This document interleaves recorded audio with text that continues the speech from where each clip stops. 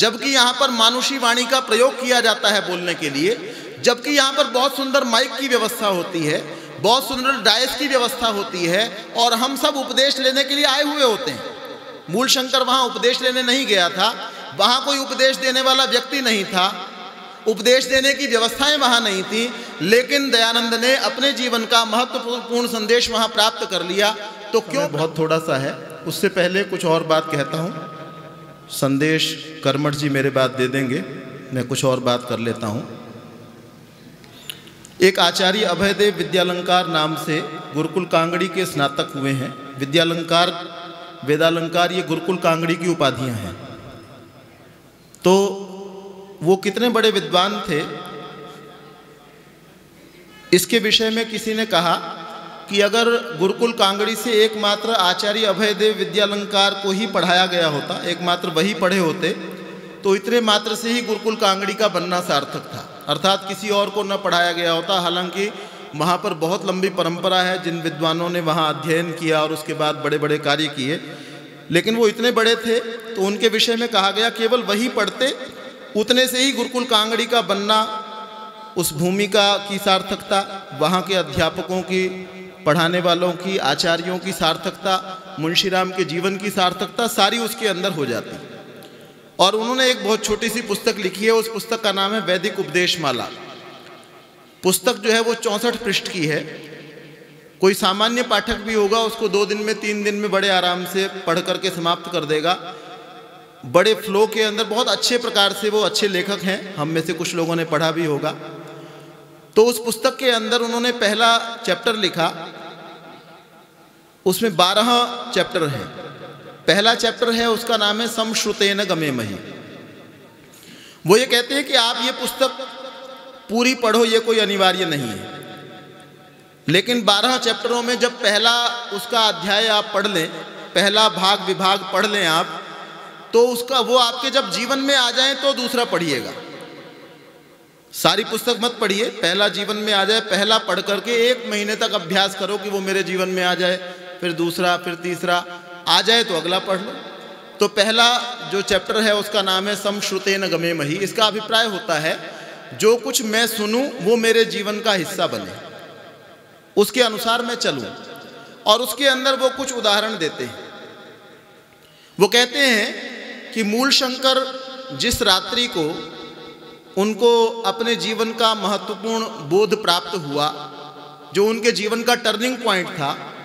उस रात्रि पर उनको कोई उपदेश देने वाला वेद का कोई बहुत बड़ा विद्वान वहाँ उपस्थित नहीं था। रात्रि के एक बजे का समय था और उस एक बजे के समय में कोई बोलने वाला चेतन व्यक्ति जागृत नहीं था। चेतन व्यक्ति सब सोए हुए थे। मूल शंकर की अंतरात्मा की ज्योति जागृत थी और एक दीपक वहाँ जल रहा था। वो भी जागृत था, लेकिन वो जड़ होने के कारण किसी निष्कर्ष तक नहीं पहुँच सकता था। वो कहते हैं, अपने जीवन का महत्वपूर्ण संदेश प्राप्त करने के लिए मूल शंकर को किसी वेद के बड़े भारी विद्वान की आवश्यकता नहीं थी। मूल शंकर ने अपने जीवन का सबसे बड़ा उपदेश वहाँ प्राप्त किया, जहाँ पर एक मिट्टी की पिंडी थी, जो कोई उपदेश नहीं दे सकती है। उसके ऊपर कुछ मिठाई रखी हुई थी जो उपदेश देने का सामर्थ्य नहीं रखती, उसके ऊपर कुछ चूहे आए हुए थे, जो किसी प्रकार का उपदेश संदेश किसी को नहीं देते हैं, लेकिन मूल शंकर ने वहाँ पर उपदेश को प्राप्त कर लिया। वो कहते हैं कि मूल शंकर ने वहाँ उपदेश को क्यों प्राप्त कर लिया? और मेरे सामने बुद्ध विद्यालंकार भी आकर के जब बोलते हैं तो मेरे जीवन में कोई परिवर्तन नहीं आता, मैं संदेश को प्राप्त क्यों नहीं कर पाता हूँ? जबकि वेद का विद्वान आकर के यहाँ पर बोलता है, जबकि यहाँ पर मानुषी वाणी का प्रयोग किया जाता है बोलने के लिए, जबकि यहाँ पर बहुत सुंदर माइक की व्यवस्था होती है, बहुत सुंदर डायस की व्यवस्था होती है, और हम सब उपदेश लेने के लिए आए हुए होते हैं। मूल शंकर वहाँ उपदेश लेने नहीं गया था, वहाँ कोई उपदेश देने वाला व्यक्ति नहीं था, उपदेश देने की व्यवस्थाएँ वहाँ नहीं थी, लेकिन दयानंद ने अपने जीवन का महत्वपूर्ण संदेश वहाँ प्राप्त कर लिया तो क्यों प्राप्त कर लिया? वो उसका उत्तर देते हैं, क्योंकि वो उपदेश लेने के लिए तैयार थे। जब मनुष्य उपदेश लेने को तैयार होता है तो वो कहीं से भी उपदेश को ग्रहण कर लेता है। दूसरा उदाहरण वो और देते हैं। वो कहते हैं, महात्मा बुद्ध एक स्थान पर आँखों को बंद करके अंतरात्मा में अपने ध्यान को लगाए हुए बैठे हुए हैं। उनकी इंद्रियाँ बाहर से अंतर्मुखी हुई हैं और कुछ समय के बाद उन्होंने आँखों को खोला। आँखों को खोलने के बाद उनकी इंद्रियों का संपर्क बाह्य जगत के साथ में हुआ। जब बाह्य जगत के साथ में संपर्क हुआ तो उनको बाहर की आवाज़ें सुनने लग, लगी और बाहर के दृश्य दिखाई देने लगे। तो एक आवाज़ उनके कान में आई। वो आवाज़ एक वैश्या की आवाज़ थी। और वैश्या ने इस बात को बोला, वैश्या कहती है कि अगर सितार के तार बहुत कसे हुए हों तो सितार को ठीक प्रकार से बजाया नहीं जा सकता। और सितार के तार बहुत ढीले हों तो सितार को ठीक प्रकार से बजाया नहीं जा सकता। वो लिखते हैं, महात्मा बुद्ध वैश्या के कार्यक्रम को देखने नहीं गए हुए थे, वो दूर बैठे हुए थे। वैश्या को के कार्यक्रम को देखने के लिए हज़ारों की संख्या में लोग उपस्थित थे और कोई उसके नाखून के अंदर जो नेल पेंट लगा हुआ है, उसको देखने में लगा हुआ था। कोई उसके बालों के कलर को देख रहा था, कोई नाक देख रहा था कोई ये सोच रहा था कि ये सितार किस प्रकार से बजाएगी? कोई उसके पैर देख रहा था, कोई उसके कपड़े देख रहा था? किसी ने भी वैश्या से कोई उपदेश, कोई संदेश प्राप्त नहीं किया। जबकि वो उसी को सुनने के लिए आए हुए थे। महात्मा बुद्ध उसको सुनने नहीं गए हुए थे, दूर बैठे हुए थे। उनके कान के अंदर एक शब्द आया और एक वाक्य से उन्होंने अपने बौद्ध अनुयायियों को समता का संदेश दिया। क्या संदेश दिया? न तो मनुष्य का जीवन बहुत तपस्वी होना चाहिए और न ही मनुष्य का जीवन बहुत ज़्यादा आराम पसंद होना चाहिए। तो महात्मा बुद्ध संदेश प्राप्त करने के लिए वैश्या से प्राप्त कर लेते हैं। मैं ये आपसे निवेदन करता हूँ, हम से कुछ लोग ये तर्क दिया करते हैं कि हमारे जीवन में जो परिवर्तन नहीं आ रहा है, उसका मुख्य कारण यह है कि हमारे जो उपदेष्टा वर्ग हैं, इनका अपना जीवन नहीं है। ये खुद तो गुड़ खाने वाले हैं और दुनिया को गुड़ खाने से मना करते हैं। तो मैं आपसे निवेदन करना चाहूँगा, जो यहाँ पर बैठा हुआ व्यक्ति होता है, वो मेरे विचार से तो मनुष्य होता है, मुझे ऐसा लगता है। आपको भी ऐसा ही लगता होगा। तो वो एक चूहे से तो बेहतर होता है।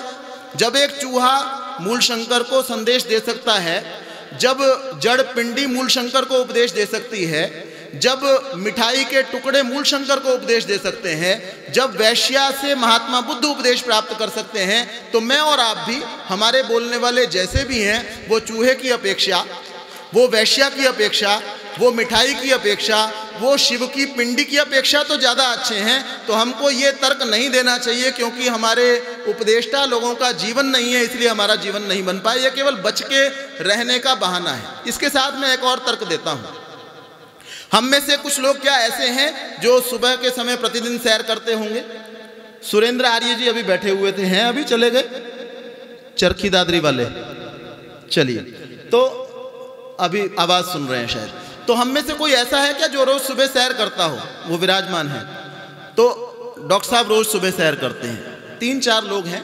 मैं भी कुछ करता हूँ हम सब के अंदर कुछ ना कुछ अच्छी बात है। हम ये तर्क देते हैं ना, क्योंकि उपदेष्टा के जीवन में नहीं इसलिए मेरे जीवन में नहीं आता। अभी डॉक्टर मनीषी जी यहाँ पर आकर के बैठ जाएँ और कहें, मैं प्रतिदिन प्रातःकाल एक घंटा, आधा घंटा जितनी वो करते हैं, इस गति से सैर करता हूँ। आप भी किया करें। क्या आपको लगता है ये वीडियो अगर हज़ारों या लाखों लोगों तक पहुँच रहा हो, लाखों लोग कल सुबह सैर करना आरंभ कर देंगे? क्या आपको ऐसा लगता है? ऐसा नहीं होने वाला है। हर गुण से युक्त कोई ना कोई व्यक्ति अवश्य है। हम में से कोई ना कोई ऐसा ज़रूर होगा जो नियमित रूप से प्रातःकाल ब्रह्मयज्ञ करता होगा। क्यों जी? है कोई जो संध्या करता हो सुबह रोज उठ करके प्रतिदिन संध्या करने वाले भी कई लोग हैं। उनको यहाँ बुला लिया जाए और वो मंच पर बैठ करके बोल दें कि आप प्रतिदिन ब्रह्म यज्ञ किया करें, संध्या किया करें, परमेश्वर का ध्यान लगाया करें। क्या आपको लगता है कि लाखों करोड़ों लोग जो उनकी बात को सुनेंगे, टीवी पर बैठा करके एक दिन बोल दो और अगले दिन से सारे ब्रह्म यज्ञ करना आरंभ कर देंगे? इसका, इससे पता क्या चला कि वक्ता के जीवन से आपके जीवन में सुधार नहीं होता है। अगर ऐसा होता तो हर गुण से युक्त संसार के अंदर व्यक्ति हमेशा होते हैं। हमारा सबका जीवन बदल जाता। इसलिए ये तर्क हमको नहीं देना चाहिए। हमको तर्क क्या देना चाहिए जो हमको आचार्य अभयदेव विद्यालंकार ने कहा कि मनुष्य को संदेश प्राप्त करना हो, उपदेश प्राप्त करना हो तो वो कहीं से भी प्राप्त कर सकता है। तो हम यहाँ उपदेश ग्रहण करने के लिए आए। ये अभय देव विद्यालंकार जी हमको कहते हैं। हम यह मापने तोलने के लिए नहीं आए कि ये व्यक्ति अच्छा बोला। ये व्यक्ति खराब बोला, हमारे बहुत सारे उपदेशक, जहाँ बहुत सारे वक्ता होते हैं, वहाँ नहीं जाते। क्यों? क्योंकि वहाँ पर होता क्या है? उपदेश ग्रहण करने वाला उपदेश ग्रहण करने नहीं आता, वो तोलता रहता है। ये प्लस था, ये माइनस था, ये कुछ अच्छा था, ये उससे अच्छा रहा। केवल इसके लिए हम यहाँ पर अगर आ रहे हैं तो ऋषि दयानंद का संदेश न तो हम अपने जीवन में ले पाएँगे, न कहीं और फैला पाएँगे। किणवंतो विश्व मार्यम के मार्ग में ये भी मेरे विचार से बड़ी बाधा है। तो पहली बात मैंने आपके सामने ये रखी उसके साथ मैं कुछ जोड़ता हूँ। एक बात जो हमने सुनी, सुनने के बाद दो प्रतिक्रियाएँ हो सकती हैं। हम कह सकते हैं, ये बात समझ में नहीं आई, मज़ा नहीं आया जाए इस बात में। एक प्रतिक्रिया, दूसरी क्या हो सकती है बात ठीक है। हमने सुना तो हम ये कहते हैं, जी, ये बात बिल्कुल ठीक है। दूसरी बात हमने क्या देखी, कि ये बात ठीक नहीं है। जिस बात को सुनकर के हमको ये लगे कि ये बात बिल्कुल ठीक है, उसके लिए हम प्रण कर लें कि ये बात मैंने अपने जीवन में उतारनी। तो हमारा ये ये कार्यक्रम कराना सार्थक है और हमने सुना और सुनने के बाद ये भी कहा हाँ जी, बात ठीक है। और जीवन में नहीं उतारा तो वो कार्यक्रम को सुनना उसका बहुत बड़ा, बड़ी उपयोगिता आर्य समाज की दृष्टि में, वेद की दृष्टि में नहीं है। वो और लोग हैं जो ये कहा करते हैं कि गुरु जी के दर्शन हो गए, उतने मात्र से कल्याण हो जाएगा। गुरु जी की वाणी कान में पड़ गई, उतने मात्र से कल्याण हो जाएगा। यहाँ ऐसा नहीं चलेगा, यहाँ आपको सुनना होगा और सुन करके जो जीवन में धारण कर लेगा, उसका कुछ भला हो सकता है और उसका अधिकतम भला हो सकता है। जो जीवन में धारण नहीं करेगा, उसका कोई लाभ होने वाला नहीं। तो आज आपने विषय रखा हुआ है गृहस्थ का। मैं तो बहुत कम बोलूँगा, बाद में कर्मठ जी इस विषय पर बोलेंगे। तो गृहस्थ जो जीवन है, उसमें प्रसन्नता के लिए, उसमें कर्तव्य अकर्तव्य के बोध के लिए हमको क्या करना है, क्या नहीं करना है, ये जानने के लिए हम क्या करें? जीवन में कोई भी काम मैं करने लगता हूँ, मैं अभी बोलना आरंभ कर रहा हूँ या थोड़ा सा पहले आरंभ किया